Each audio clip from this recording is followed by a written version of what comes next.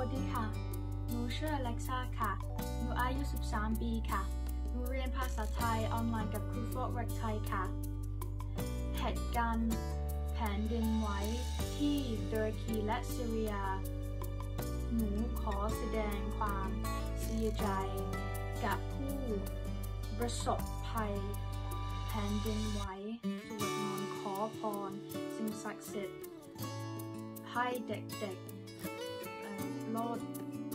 ปลอดภัย และและกลับไป สู่อ้อมกอดของพ่อและแม่ค่ะ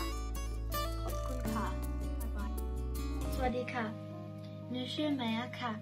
อายุ11ปีค่ะหนูเรียนภาษาไทยออนไลน์กับครูโฟกัสไทยค่ะเหตุการณ์แผ่นดินไหวที่ตุรกีค่ะ หนูรู้สึกสงสารเด็กๆ เพราะว่าเด็กๆ กลัวและหิวค่ะ หนูจะสวดมนต์ให้เด็กที่ติดอยู่ในตึก และหวังว่าทุกคนจะปลอดภัยค่ะ ขอบคุณค่ะ